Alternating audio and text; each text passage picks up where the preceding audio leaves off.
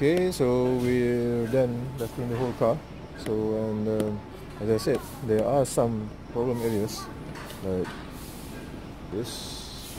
You know, not problem areas lah, but it needs more work rather than you just dust the car off. Okay, so it's actually very easy to do. It's not really that hard.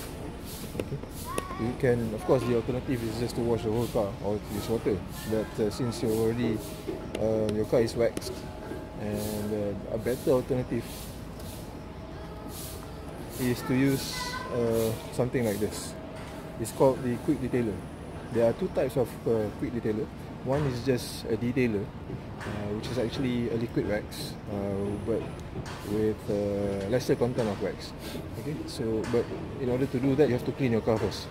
You have to uh, wipe it with water or wipe it with, with uh, microfiber cloth but with this uh, wash and wax uh, it's available from Armor All uh, this is my favorite. Armor All Ultra Shine uh, wash and wax detailer I've been using it. This is my third bottle I think. What it does is it washes and cleans and also uh, wax your car. Not really wax but maintain the the your car that is already waxed. If you do, if you haven't washed or, or waxed your car before it, it won't it won't work uh, as well okay so very easy to use.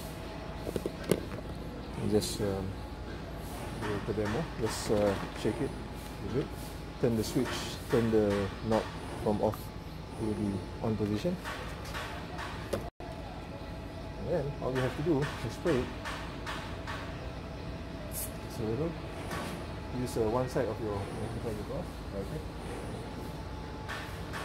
It's good to wipe it in one direction to prevent you know you can't be too careful these days it and then you flip it over to the dry side and hold it that's it that's all you have to do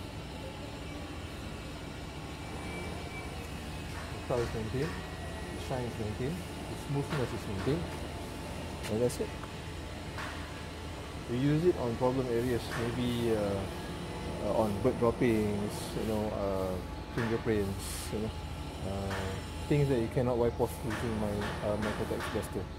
So that's um, I usually like to wipe out the whole hood because this is you know the front line of your car. So let's do it.